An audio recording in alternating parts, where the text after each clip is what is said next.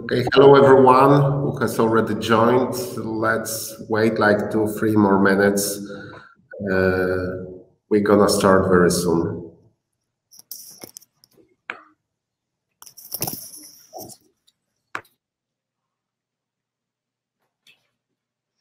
Make sure that's plugged in, okay?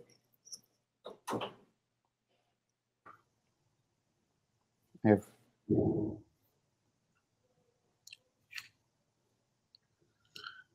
So let's give it like two, three minutes, right, Roderick? yes. Usually it takes a while for the people to to open up the browser. Hopefully this one is really good, so doesn't require any installations and so on. But I think actually people are just watching through YouTube. Or, yeah, that's right. So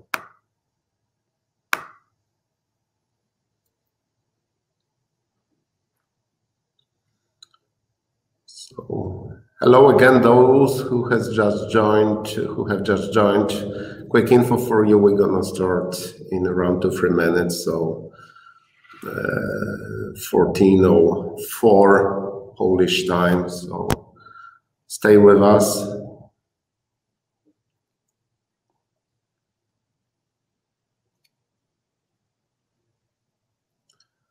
We wouldn't like you to miss a minute from from the webinar.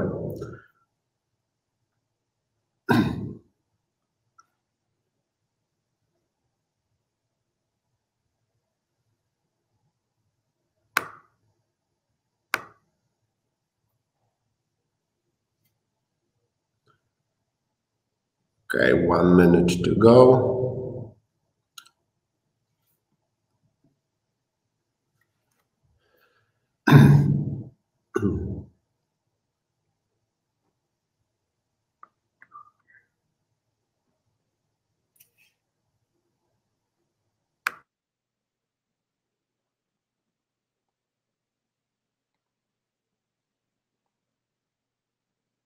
You see, I'm watching the stream on YouTube.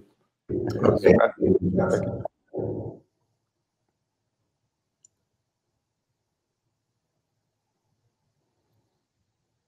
All right, a couple of more seconds. I think you have feedback from the microphone from the YouTube, uh, uh, Roderick. So You? All right. Is it still there? uh, it's working great right now. So Okay, good. Well, I think we can start. What do you think? Uh, it's it's high time. So, hello everyone, uh, welcome and thank you very much for joining our uh, webinar, uh, which is titled "How to Develop Serverless Applications." Um, my name is uh, Mieszko Mularczyk. I am the CEO of Aptimia. Uh, we are co-hosting this webinar together with a partner of ours, uh, Nimbella Corporation from the United States. And uh, today we have a special guest uh, from, from the US uh, together with us, uh, Roderick Rabbah. Uh, he is the CTO, so Chief Technical Officer and co-founder of Nimbella. Roderick is based a little bit, maybe a few words about Roderick. So he's based in the New York area, um, uh, whereas the Nimbella headquarters are in, in the Silicon Valley in California, United States. Uh, Roderick holds a PhD title. He's a former research scientist at Massachusetts Institute of Technology. And he worked many years as a principal researcher at IBM, where he was one of the co-creators of Apache OpenWhisk, um, the serverless platform, which is today used by many companies like Adobe, uh, IBM uh, in its cloud functions product, Naver Corporation, and numerous other private companies. And two years ago, uh, Roderick decided to take it uh, one step further, and he co-founded uh, Nimbella Corporation, uh, and their product is actually based on Apache OpenWhisk, but takes it to the to the next level. Um, so this is a quick intro. The webinar is going to be purely technical, so don't worry, we're, we're not gonna shoot you with some marketing stuff. Uh, so the most of the part, most part of it uh, will be covered by Roderick. Just a little bit of an intro how we got um, to each other, right? So, so Aptimia, our company, uh, is a Polish uh, limited liability company. We've, we've been on the market almost six years and we're based in Szczecin in Poland and we've been collaborating with a couple of US based companies. And actually Nimbella is, is one of our partners. Um, we, we started working like two years ago. Well, actually, we participated in the creation of some of the components of, of the product, but mostly um, we are uh, really focused on you know bringing the Nimbella product into real life uh, scenarios. So uh, the reason why we are also arranging this webinar is, of course, also to show us that we can help you as a software R&D company uh, to introduce it into your uh, business scenario, the product of Nimbella. So we, we, we are here as an integration implementation partner. Uh, so how we run the, the meeting, so we have done the personal intros and maybe a little bit of the companies. Of course, uh, Nimbella will be covered by uh, Roderick.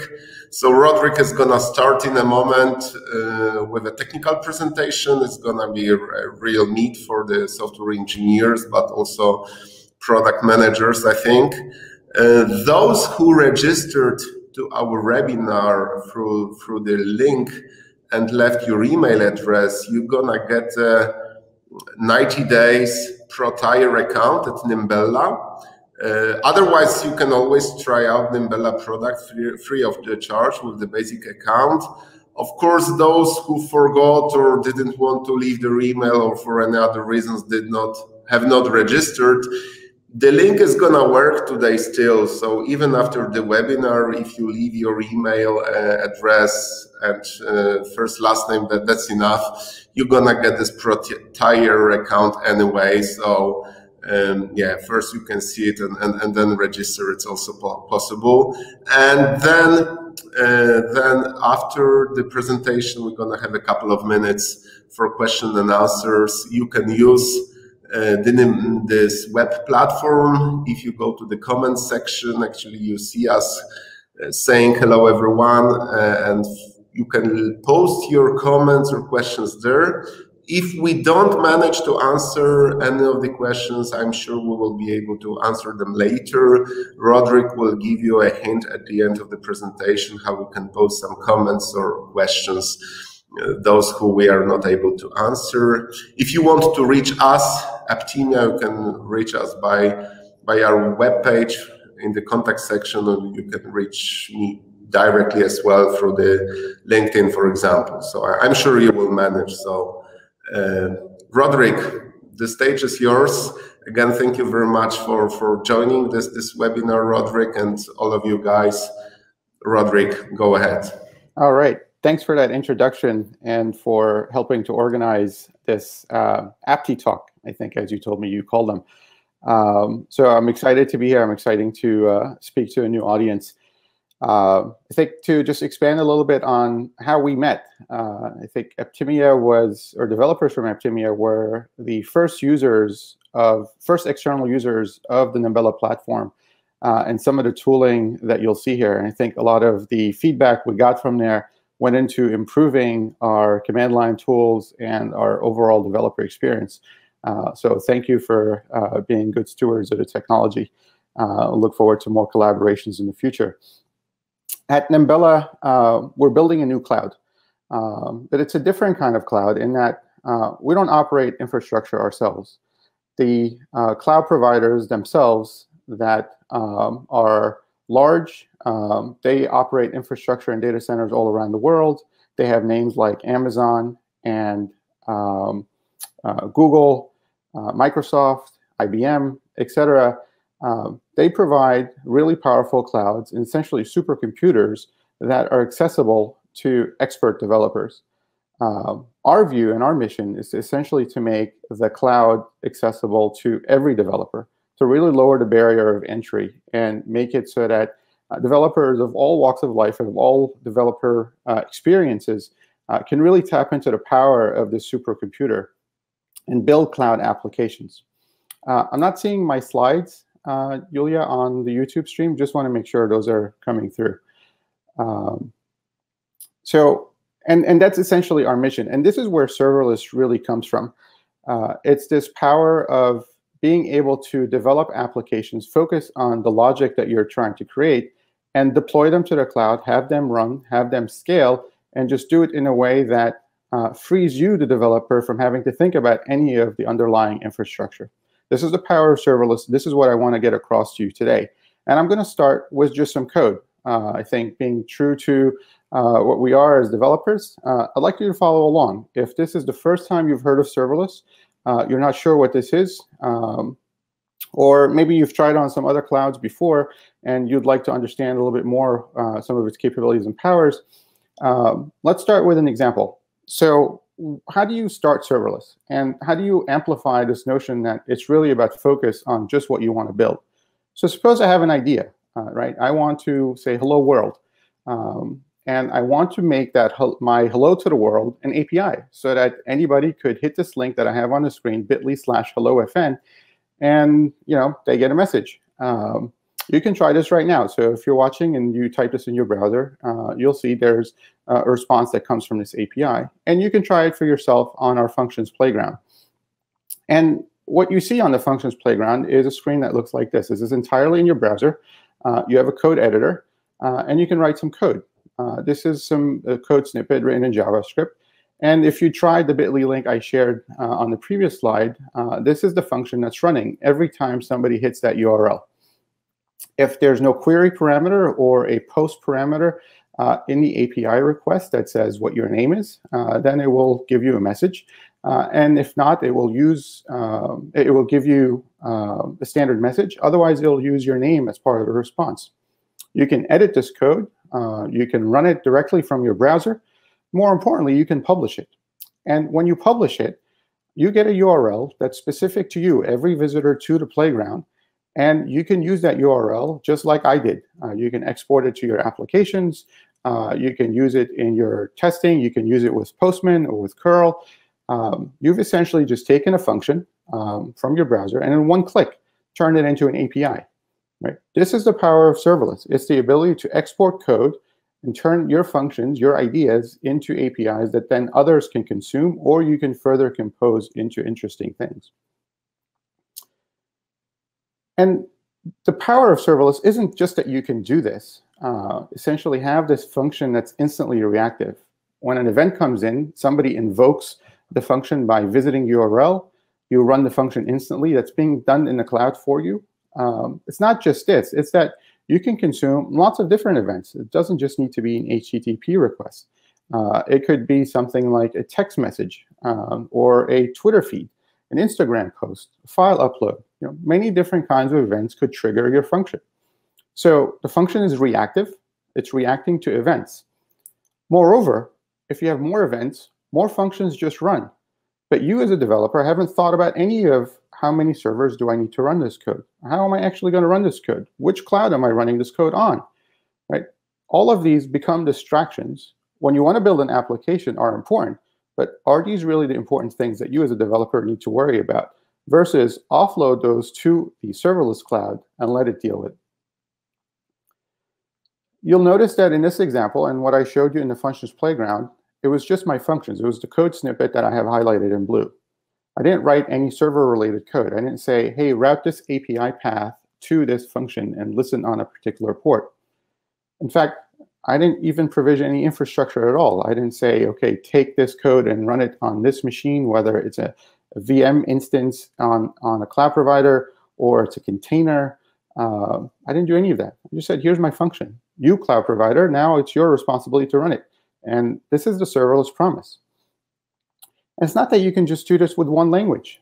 Uh, if Node is not your cup of tea, uh, I should have asked, what do you drink in Poland? Uh, but, you know, if, if Node is not your best uh, language, then you could do this in many other languages. You can do this in Golang. You can do it in PHP uh, or in Python.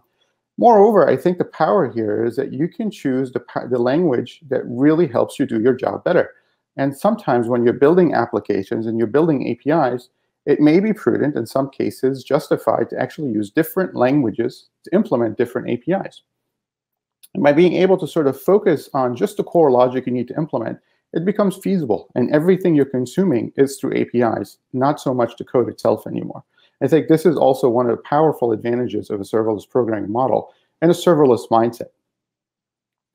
So this is a brief introduction to serverless. I'm going to take you through and sort of walk you through a little bit more of how we got here, why we're here, and build actual serverless applications with you. What I showed you is a simple function that is not an application. How do you go from applying the power of serverless functions to serverless applications?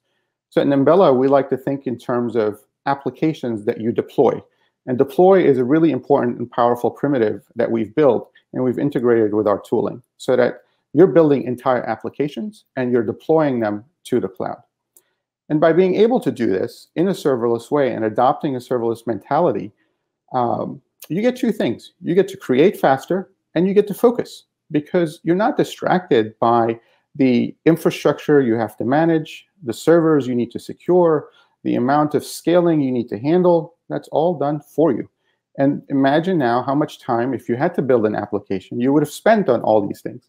And now imagine what else you could do because you have free time, essentially, or you've reclaimed that time to do something of higher value. So the power of serverless is really in its focus on what matters to you as a developer at the end of the day. Build beautiful, create, and powerful applications that deliver value to your end users. So there are several benefits to serverless. I sort of talked about this reactive model where a function runs in the cloud, it consumes events, and it just scales. As you get uh, more events, it just runs. Um, you know, how many servers do you need? Do you really care? Uh, that's what the serverless provider's responsibility is. Manage and figure out how to run your code most efficiently. And moreover, it's now not your responsibility to secure anything but your code. You still have to secure your code and make sure you're not doing silly things uh, with your code, but the underlying operating system, the underlying kernel, even the underlying hardware uh, is no longer for you to worry about. That's managed for you by the cloud provider. So your code is more secure because you own less of the stack, and you're deferring that, that responsibility to cloud providers whose main job is to essentially provide a substrate that is safe and secure uh, and uh, as I said, a supercomputer for you to run your workloads on. I think there's another really powerful advantage uh, for developers here is that uh, it's a utility-based model that really breaks down the cost based on how many functions you might run when you're talking about serverless functions, or how many files you consume, uh, how much network bandwidth do you consume. So if your application is essentially with the lights off, it's not running at all, your cost is zero or near zero. And as you scale up and you grow, your costs increase. Um, but I think that's a good problem to have. You want your costs to be proportional to your success. And you know, when it's early and you're just starting out, you don't want to pay a lot of money to the cloud providers. And this is the beauty of serverless. Your costs are proportional or should be proportional to your utilization. And to give you a context, uh, right, think about running thousands of functions, you know, uh, like my hello world. Um, it's kind of early uh, in the morning and yes, so I don't expect a lot of people to be doing it. Uh, you know, maybe if uh, as people watch this video, there'll be lots of users hitting that URL, thousands, let's say. So I can do a thousand invocations of function in seconds. It costs very little. You know, uh, in fact, you can do up to a million operations, and it wouldn't even cost you a dollar. Um, it would cost you a quarter of a dollar uh, in U.S. terms. It's very cheap, right? So it gives you the capability to run thousands of functions at very low cost. I think this is this power is transformative. Right? What can you do with this power? What kind of applications can you now build that were just prohibitively expensive to do before, or difficult in that you had to really think about how to parallelize your application, uh, write distributed code, or you write parallel code. I don't have to do any of that anymore. I can do the simpler thing and let the cloud providers power of sort of just providing infinite compute essentially uh, to handle the rest for me. And in some ways, this is a natural evolution of computing. And how we are here is just looking at the history of where we've come. Uh, you know, automation and abstraction have long been part of our computing history, where you started with essentially companies having on-premise hardware. Uh, we used to build some uh, at my lab at IBM, um, where you run your applications on hardware, sometimes that you built yourself. Um, to then saying, well, do I really need to have these machines in my lab? Uh, I'll just rent some infrastructure. Uh, and then platforms as a service became a thing uh, and still a thing. Um, you know, so if you're familiar with Heroku, for example, it's a good example of essentially prepackaged software where you add some bits and pieces to it, and then they just run for you in the cloud. And in each of these, you know, the economic model changed. So when it was on-prem infrastructure, you paid for the machines, you paid for electricity, you paid for warehousing those machines. But for the most part, you can think of on-prem as dollars for machines. And as we shifted towards more fine-grained consumption of infrastructure towards platform as service, we changed the model. Now you're renting machines by the hour. And so serverless functions or functions as a service, you pay per request. So you pay for how many times your function runs and how long it runs, what resources it consumes. So it's a more fine-grained way of doing uh, your billing. But with this power, this economic shift comes this great uh, capabilities uh, that we've talked about. Now as a developer, it makes it far more accessible to tap into the power of the cloud, and I can do it without breaking the bank. But serverless isn't just some toy technology. Uh, this is fairly mature technology today. And it's still in the early days, however, um, as I'll explain in a couple of slides. It's used by a number of enterprise organizations. This is just a small sampling of organizations whose names you might recognize um, that have used the power of serverless to transform parts of their organization with small teams that have been able to deliver faster uh, and essentially transform their, uh, their company business in terms of what they deliver to their end users. And a number of these use, use cases I've taken from Amazon Web Services uh, Amazon started this movement towards serverless, if you will, with the announcement of a service they called Lambda, or Amazon Lambda, uh, about five or six years ago. Five years ago, I believe. Uh, November 2014. Uh, so six. And you know, since then, they didn't call it serverless at the time, but since then, this shift towards recognizing this beauty and the power here has sort of transformed itself into the serverless movement. And often when you're talking about adopting serverless at enterprise scale, you're talking about re-architecting the application. But you can't just sort of do that in ways that are, um, you could do that with a gentle migration path. Uh, you can do that by starting on green fields. And so often this transformation from monolithic or legacy applications to serverless requires sort of a complete buy-in to the serverless methodology the power of what we're trying to do at Nimbella is to say, you don't need to do this in a very abrupt way, but you could do this in a gentle migration path. And I think some of these successful use cases uh, that Amazon has published with their partners have demonstrated that you can do this gentle migration, and it's probably the best way to do it in a, in a number of ways. Uh, if you're starting fresh and you've never looked at serverless before, uh, I think you should. And the reason I started with the playground is uh, to give you a taste of what serverless and the power of serverless is like. You know, imagine not having this capability and you know take your application or take some function code and turn it into some server and run it as an API. What would you have to do? What are the steps you would have to do? Go through that mental exercise and now compare the two. And I think once you go serverless, the power sort of makes you never want to go back. Um, so another level of sort of um, scale of how we are today is, you know, considering in 2015, shortly after Amazon Lambda launched, um, AWS was doing about 2 billion serverless functions a day.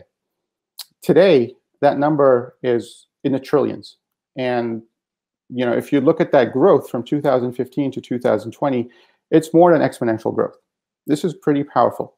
But if you look at the share of the compute that serverless functions has as a totality of everything else the cloud is handling, sort of traditional server workloads, it's a tiny, tiny fraction. So this is why we're still in the early days of serverless. The whole cloud has not moved to the serverless model, but it's happening in ways, in subtle ways that maybe you don't recognize yet. For example, if you're using any API, you're serverless because you're not thinking about how that API is run. You're sort of delegating it to whoever is offering that API to run if you're using databases as a service. You know, increasingly, there's lots of databases as a service that are becoming serverless. you're not thinking about scaling up the database. Uh, you're not thinking about the infrastructure for a database. A lot of infrastructure is going exactly in this direction. So in my view, serverless makes developers' life easier, makes you faster as a developer. I think it has desirable properties, and they're necessary because this power of compute, you know, should be accessible to a lot more developers than it is today. So in my view, and so I like to say that serverless is inevitable. It is happening. And if you haven't caught on to this movement, it's, uh, it's a good time to start, especially if you're building new applications. So what I wanted to spend a few minutes on uh, for the rest of the talk is to talk about Nimbella and how Nimbella helps you sort of develop applications in this serverless mentality. And we call our company Nimbella because we believe the cloud should be beautiful. And uh, our primitive concept, essentially what we're trying to do is to build complete applications. You know, what I showed you earlier when I started my talk with was a function, a snippet of code, but that's not an application, right? To build complete applications, I need more. I need not just a code, I need to put state around it, I need to put databases around it, I need to put more capabilities. We're gonna get into that. But I wanna be able to do it easier than it is today, far easier. We wanna be the fastest and the best at sort of being able to tap into that cloud and remove as many gates as possible so that the cloud is accessible. So what are these other things that you need to build applications? Like I said, functions are essentially just compute. But if you look at a computer, there's more to it than just a compute. It's not just a CPU. There's the networking, there's a storage, there's a lot of infrastructure that's sort of integrated uh, that you have to put together in the cloud to, develop, to deliver an application. And in Nimbella, we're essentially bringing this seamless integration in a way that, again, echoes and reifies this serverless promise of focus. Focus on just what you need and nothing else. So what I'm going to show you with some real code and some examples is how do you deploy a stateful serverless application? Uh, and doing it in a way where every deployment is repeatable. So you're deploying entire applications in a repeatable way. What do I mean by that? Well, uh, as I go along, and uh, you're going to see that you can actually replicate what I'm doing. And maybe you'll do it at the same speed that I'm doing it because it's that fast and that convenient. Um, you, if I share a project, a Nimbella project, for example, on GitHub, um, you should be able to take that project and deploy it to an instance of your cloud just like that. And we'd like to make that just work. And that's what I'm going to get the point across, like to get the point across as I go along here. And when you start, you know, sometimes you have that idea, you have that excitement. I just want to build. I don't want to get distracted by other things. Just like I don't want to get distracted by thinking about my server or the infrastructure, which cloud I'm running this on. I don't want to get distracted by manifest to sort of describe my application. Hey, it's just my code. Just take my code. I don't want to do anything else. And that's what we've tried to do. So this example is a page counter. Um, if you go to the GitHub link there, you'll see that we have this example and a number of others. It's a simple app. It's a single page application where there's a front end uh, that shows what visitor you are and what date uh, this app was deployed. And you know, if you're participating with this, drop your number, um, the visitor number when we share uh, this in a couple of slides. And if you look in GitHub at this project, uh, this is it. This is the directory tree and directory and file tree for this project. Uh, there's a web folder, which has the index HTML page and the logo. Uh, and then there's uh, a package uh, folder that contains um, visits with two files, counter.php and info.php. So here I picked PHP to implement this application, again showing that you could do this in any language of your choice effectively. Um, these two functions essentially implement the APIs I want. One uh, the info API tells me when this application was deployed. The counter uh, increments the counter every time the page is loaded. So it's implementing my counter API. This application is stateful because I need to remember those two things. When did I deploy this app? And how many people have visited this page? And so when you deploy this to the Nimbella cloud, there's a number of things that happen for you right out of the box without you having to think about it. Right? There's the compute, which runs your functions. There's a data store where your counter is stored. Uh, and then there's an object store, which is used both for storing web buckets uh, and maybe other objects like what day this application was deployed. Um, and your application, your front-end pieces of your code are deployed to, are essentially fronted from the object store by a CDN, content delivery network. that means your application is globally available um, with very low latencies. Again, the power of serverless without you having to think about any of that. It's just my code. Run it. Run it well. Run it so that it scales. And you can do, you can deploy this application if you follow along with me in just three steps. So the first step is create an account. Uh, and you can do this uh, from uh, nimbella.com slash sign up. I think the link appears in the chat as I'm going along. It takes about 60 seconds for your account to be essentially fully ready, and you can get started. When you've got your account, uh, you'll land on a page where you'll see a link for what we call a Nimbella Workbench. Uh, the Nimbella Workbench is essentially a browser-based interface. I'm showing a screenshot of it here, uh, where you can interact with the Nimbella Cloud. Uh, but it's a terminal-based experience in some ways, and it mixes essentially UI elements and clickable elements with a terminal-like experience. So from the Workbench, you can type commands, uh, like I'm, the one I'm going to show you later, to deploy this project uh, right from your browser. No, no tools needed to get started. But you can also do other things like look at what actions, what functions I've deployed, um, how many have run, which ones are fast, which ones are slow, which ones have failed. Hey, show me logs for my functions, etc. You can do that from the Workbench. There's also a terminal, uh, a command line tool that you can run from your terminal. The important thing is that whether you use the Workbench or the terminal, it's the same set of commands. And you could do this and sort of transition back and forth between them as you see fit and as your workflow dictates as a developer. So if you've gotten to this step and you've created an account, you've went to the workbench uh, and you type this command, project deploy, and I'm giving the URL here of the visits app from GitHub, it will deploy a copy of this visits application to your own dedicated namespace. You will see a URL at the end of the application, as I'm going to show you, and you can take that and share it with your friends and say, hey, what visitor number you are uh, you know, feel free to also post that in the chat and others could try it out. Sometimes, uh, it, uh, not sometimes, uh, when you deploy your first project, it might take two to three minutes sometimes for DNS propagations to happen worldwide. And so you may get a 404 after you've deployed your application. Um, you know, if you do that, refresh in a couple of minutes and that error goes away. And this is what you would see if you try this and you've gotten this far. So you've run project deploy from the workbench you'll see some output saying identifying the namespace uh, that is yours, dedicated to you, uh, and what was deployed. Uh, in this case, two actions or two serverless functions, and the web content uh, deployed to the URL. This domain that you get is yours. It is HTTPS. Uh, it has a certificate, an SSL certificate. Um, it's backed by a CDN for serving the front-end content. Uh, your APIs are routed to your functions. And if you look through the code, you'll see it's very simple. Again, just your code and nothing else. Uh, you can try this out, bit.ly slash webinar hello, uh, and you can let us know what visitor number you are uh, in the chat. Kind of a fun little thing uh, to do. But you're done, right? At this point, you're done. You've taken this code, you've deployed it, your application is live. Right? I didn't have to think about the SSL, the domain name, uh, the containers to run my code, the servers, the uh, the infrastructure. Hey, where are my logs going? Uh, is this scaling? Um, you know, uh, CORS issues. You know, if you build web applications, have you tried to fix CORS between your front end and your back end? Right? There's a number of things that are sort of done for you by the Nimbella Cloud right out of the box, so you can just build. Right? And I think this is the power of serverless and the power of serverless with Nimbella.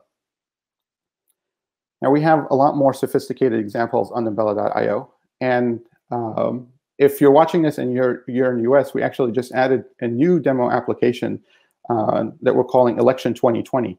Uh, so if you have uh, some ideas for how to build election-related APIs, we've aggregated uh, application-related apps. We've aggregated a number of APIs, and we've put them out there. And uh, I missed an opportunity. I should have had a slide here. Should, let me just go show that. I think it's kind of cool.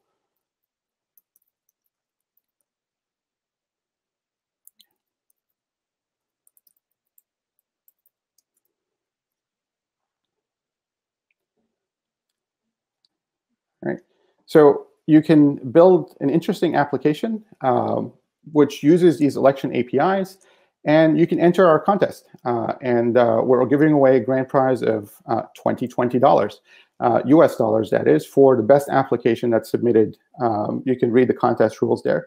And we've essentially built um, this starter project. Let me show it here. So here it is. Um, let's look at, you know, you can look at previous election results. We've aggregated a number of APIs that you could run.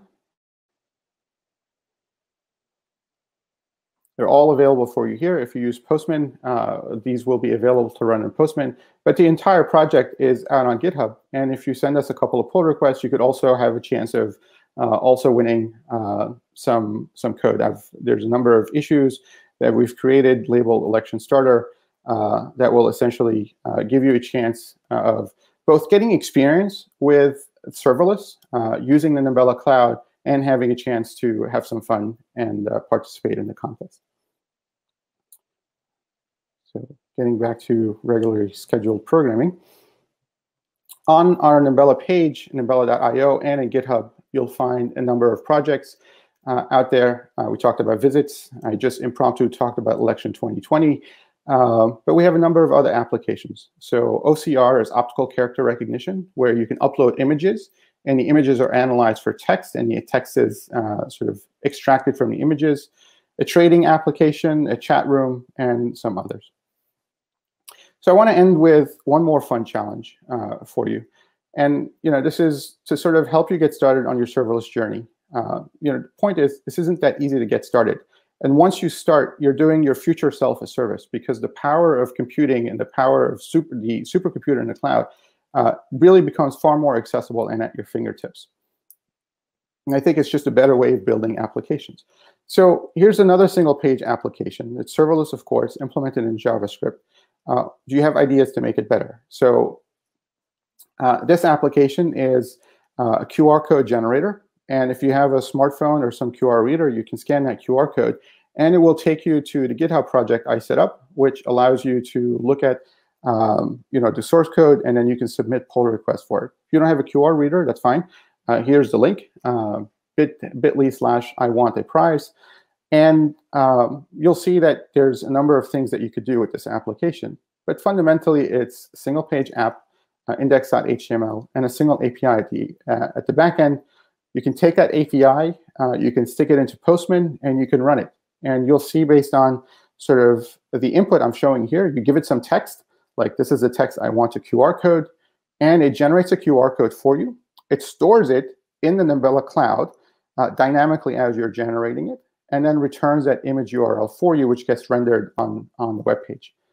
Uh, so simple API, it's very simple. Uh, HTML uh, and JavaScript, so there's no frameworks, there's really no frills. Uh, very, very easy to sort of grok and understand. Uh, but it's using a number of components of the Nimbella Cloud. One is the ability to deploy code as functions, using the object store to store the QR images.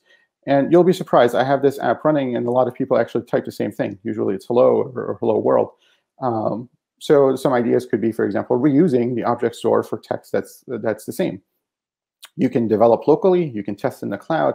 It's really very powerful and flexible. So what I'm what I'm encouraging you is uh, if you're looking for an easy thing to just get started and what your appetite and get some experience uh, with the tools and how you actually build serverless, this is another good way of getting started. The election app might just feel like uh, too much. This is much simpler. And if you submit a pull request, I again will send you a prize uh, for, for your effort and participation. Your serverless journey really starts with just one function. And this is why I started with the functions playground. Uh, this isn't some complicated uh, mystery in my view. You can just start with one first baby step. And the road ahead uh, you know, starts with, uh, you, you can't traverse a long road without the first step. And this will be your first step. So start there, uh, write one function, deploy it, and see how powerful it is. In fact, I'm going to show you that you could do more in the function playground than hello world. So let me just break out here and come to the workbench. Uh, the playground itself is actually part of our workbench. So uh, I've just escaped playground by hitting escape, and you see this is the workbench here, and I can um, since I've deployed the, the visits app before, you'll see I have my two APIs uh, right there. So in the functions playground, there's a number of other things you could do, and not just in JavaScript. You could, we have sample languages in uh, sample functions in other languages like Java, Go, and PHP. And you can run them all from the playground without any tools or anything on your part. So Go is interesting or Java is interesting because these are languages that are usually compiled. Uh, and so when you compile these languages, you have to think about, okay, well, how am I compiling them? But in this case, I can actually just run the pure JavaScript source code, and it just runs. And so I can edit this and go as I go along. So let's look at a more interesting um, snippet of code. So this is an image resizer. Uh, so this is a bit more complex code. Uh, it's importing some packages, um, and it's taking URL of a large kitten. Apologies to dog lovers everywhere. Uh, so this is a large image of a cat. And when I run this function, it's actually going to shrink. It's going to resize the image. Uh, if I don't provide any parameters, it's going to resize it to 128 by 128. So when I click run, it's going to fetch this image, resize it, and there's a little mini cat. So you can do a lot actually in the functions playground. Even if you don't want to create an account, uh, I can export um, this API endpoint. And so this URL essentially now becomes an API. And so you can get started. Uh, you can try this out even without signing up for an Nimbella account. Um, we'd like to eventually convince you that this is worthwhile and worth your experience, but you can always get started with no risk. Our goal at Nimbella, like I said, and I hope uh, I've sort of given you a sense of how we're trying to do that, is to make programming the cloud easy so that you, as a developer, is developing at the speed of innovation. Nothing else should get in your way. So we're trying to remove all the gatekeepers. Build, create, that's really the power of the serverless cloud. The infrastructure is somebody else's headache, and that's really our headache uh, at Nimbella, and really the headache of all the cloud providers, because you can do serverless computing on uh, all the major cloud providers today. So thank you. Uh, that's all I wanted to cover. I want to thank you for attending and watching this, whether live now or on replay. Uh, thanks again to Aptimia for organizing this event. And we always love feedback. Uh, so if you watch this, you can reach out to us uh, on feedback.nimbella.com. Uh, you can message me on Twitter uh, at Rabbah. you can join our Slack channel, or you can leave us comments on this post.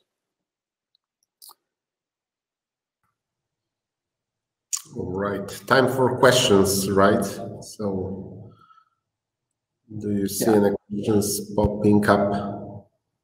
I don't see any questions. I actually, Julian, guys, you can post your questions in the comment section right now. So we have a couple of minutes to answer at least some of them right now.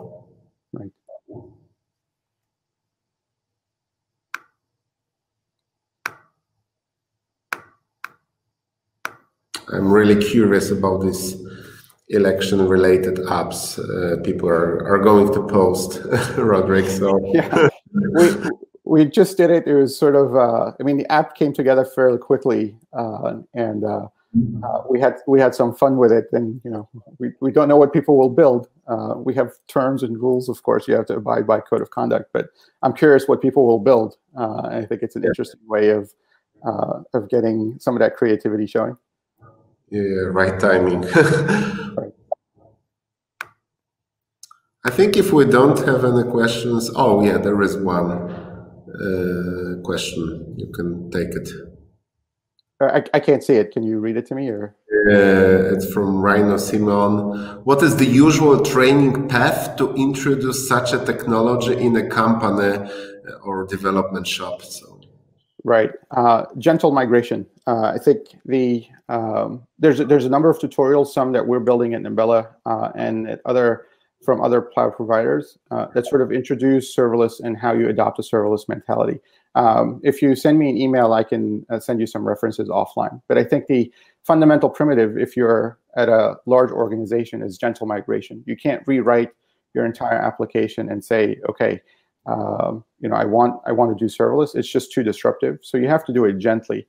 Uh, it's easier when you're doing new applications. You train and sort of you build application in this way, and it doesn't actually take a lot uh, to sort of understand how to do this. It's more uh, difficulty when you're migrating existing code. Uh, but if you're thinking about applications, you understand APIs. Uh, one of the integrations we've just announced is with Postman. So it's an API first mentality where you have your APIs, you generate your project from your API, you start mocking the implementation with real code that lives in the cloud, and then you iteratively refine. And this whole process of being able to essentially take a small piece of code, deploy it to the cloud, iterate, and continue to repeat in the deployments gives you that iterative mentality. So it's really powerful in that way, and I think works well with developer experience. Uh, but if you're a large organization, you sort of want to uh, essentially recoup investments in infrastructure and retrain that workforce for uh, essentially development, uh, you know, I think I can give you some some guidance offline if you reach out to me. Mm, thank you. Or, or, of course, you can work with organizations like Aptimia. Uh, they're very mm -hmm. good at that, and they helped us build uh, our very first uh, uh, application on our platform very successfully. Yeah, definitely. You can reach us as well. Um, to speed up your development as well uh, using external uh, services.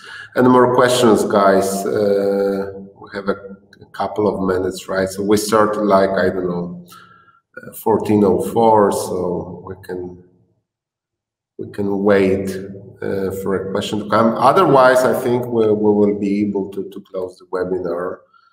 Just a couple of orders yes, how can I reach you? Uh, so I guess uh, Rodric, you.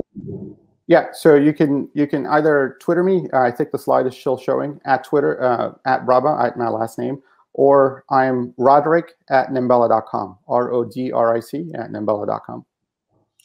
All right, and for for myself, you can reach us at office at aptimia.com or my first last name at aptimia.com or just LinkedIn. Uh, you can, I think, easily find uh, myself as well. So mieszko.mularczyk at aptimia.com or office at aptimia.com.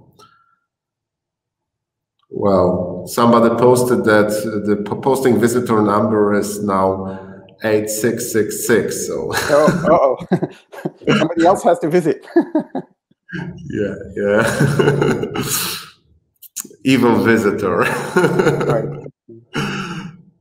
Right, Rodric, I think, uh, yeah, we promised the webinar to be short and concise, so uh, maybe it's a time to close it. People know how to reach us. The webinar will be available offline as well on the Nimbella YouTube channel, so if you missed any part of it, you can watch it later or you can forward it to, to, to other developers uh, from your organization to, to, to see it before um, posting your questions to uh, to Rodric or to, to, to Aptimia. Uh, anything to add? Shall we? No, this was, this was great. Thanks for the opportunity. Thank you for joining and uh, stay tuned. Uh, and good luck with, with your applications on the Nimbella platform.